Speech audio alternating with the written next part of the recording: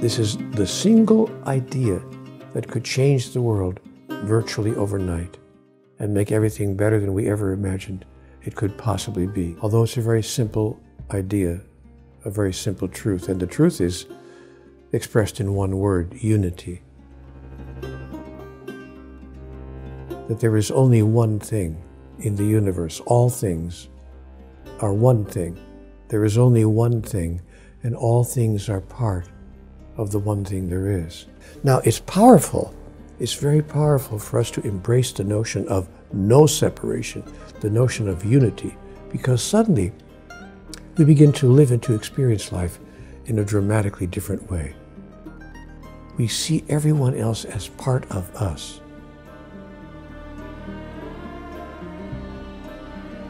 And everything else as part of us as well. And that includes that essence of life that some people call God. And so we begin to see things differently, to act differently, to react differently, and to experience ourselves in a brand new way, a way that can change your life forever. And there's a reason why I have observed human beings have a difficult time embracing the idea of unity, of there being only one thing. People are afraid of losing themselves. They're afraid that they would somehow be absorbed or thought of as being part of an amorphous, huge mass of energy that allows them no experience of their separate selves. So we have this idea that we need to be separate in order to experience ourselves. But what I was told in my conversations with God is that separation is not required for individuation to be experienced. And God gave me a very simple demonstration of this. She said, Look at your hand.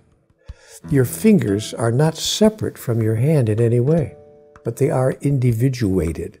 That is, each finger has different characteristics and different functions and can perform in different ways. So I said, Wow, I got to hand it to you. That's a pretty good explanation. And so God has invited me to look at my own hand whenever I wanted to notice the difference between individuation and separation. Try it. Just try it for 24 hours. Imagine that everyone else who crosses your path is an extension of you, is one of the wonderful fingers on the hand that you are. And imagine that everything that you think and say and do with regard to that person, you're thinking and saying and doing with regard to yourself. And as you begin to change the way you interact with other people, you will discover the powerful, powerful benefits of the notion of unity. Thanks for listening and enjoy your experience of oneness.